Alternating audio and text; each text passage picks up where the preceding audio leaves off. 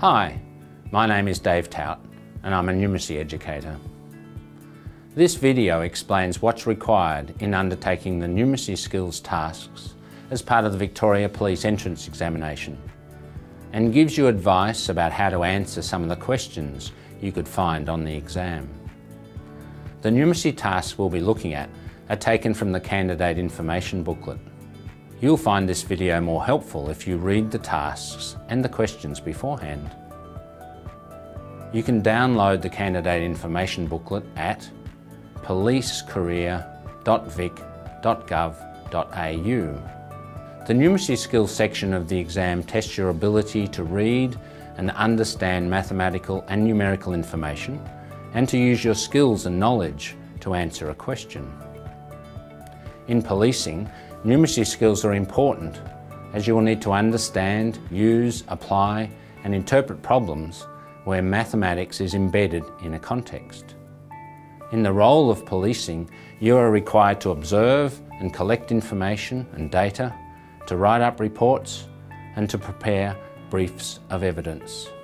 These reports must be clear, to the point and accurate and will, at times, include numerical and mathematical information. In the numeracy skills section of the exam, you will find questions that test three different types of skill areas. The first is number and algebra, the second is measurement and geometry, the third is statistics and probability. In the numeracy exam, you only have 35 minutes to do the 30 numeracy questions. You will have access to an online calculator, which you can use for doing some of the maths calculations, but you will still need to have the skills and the knowledge to apply the correct mathematical processes and to understand how to solve the problem. When you do a numeracy problem, it's useful to follow these five steps. First, it's important to read the problem carefully so you don't miss anything. What information is being presented? Think about what the question is asking you to do. Next, think about the mathematical processes.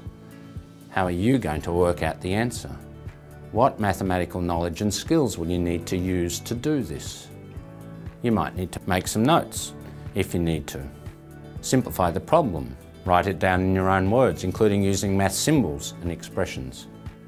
You may find it helpful to write down the calculation needed or to even draw a diagram. The third step is to now do the maths required to solve the problem and answer the question. There's likely to be a few steps to doing this. These might involve doing some working out, or undertaking calculations on paper, or using your calculator. The fourth step is to select the correct answer or write down your answer. Make sure you answer the question in the right way. Of course, this depends on the type of question it is.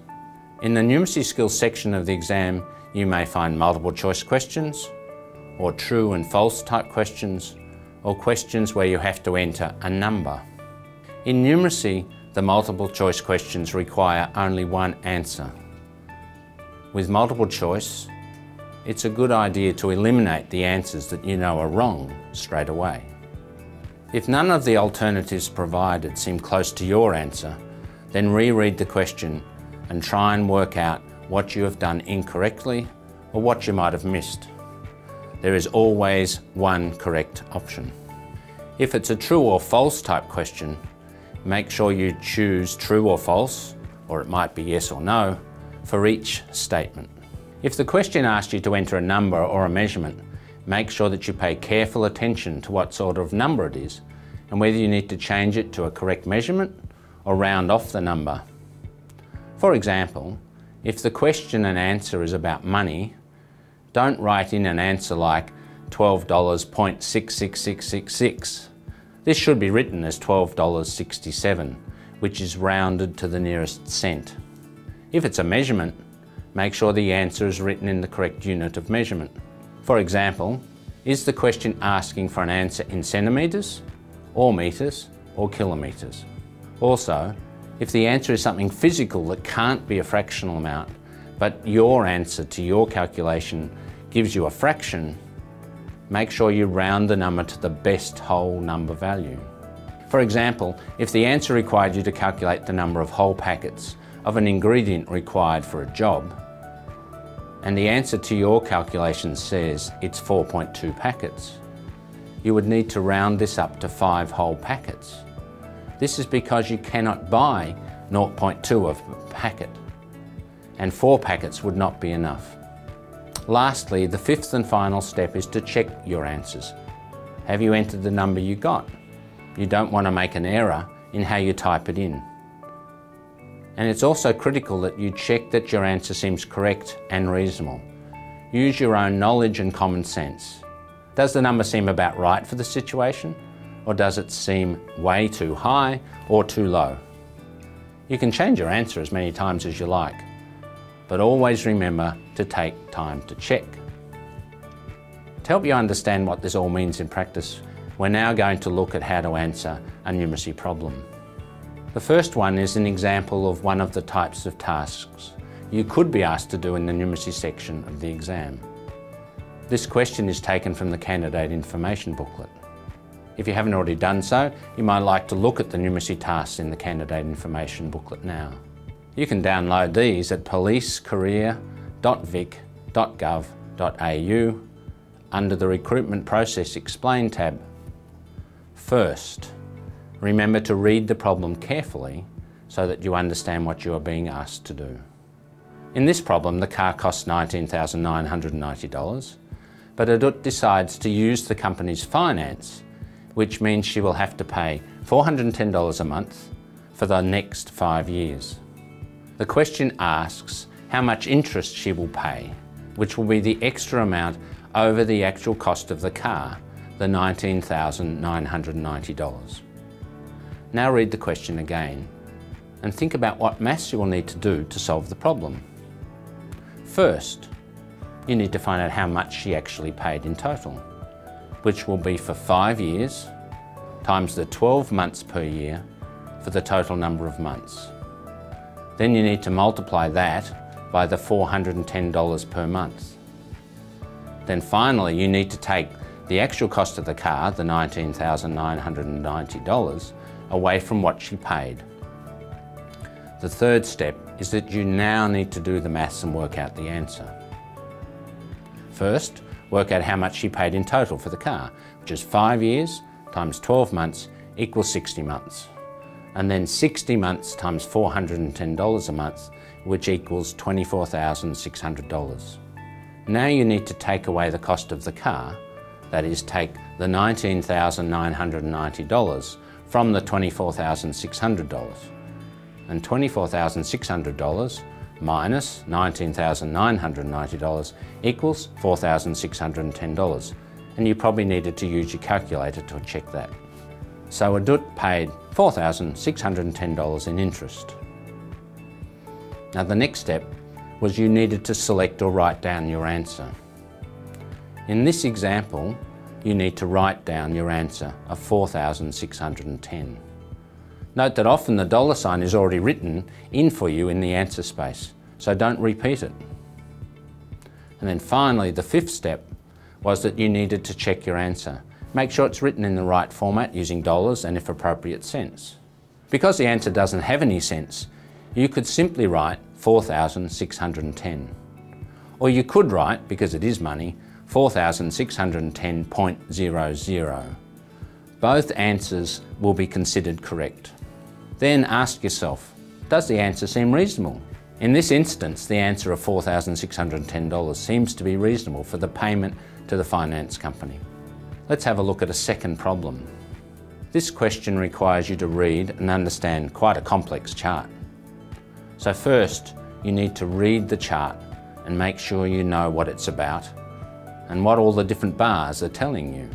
This graph is telling you how many metres a car will travel before it actually stops, taking into account the speed of the car, the driver's reaction time, and then how far a car will travel even after the brakes are applied. The question asks you what the reaction distance would be if the car was travelling at 130 kilometres per hour.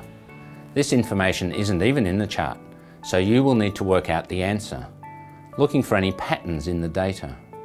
The second step is to read the question again and think about the maths you will need to do to solve this problem.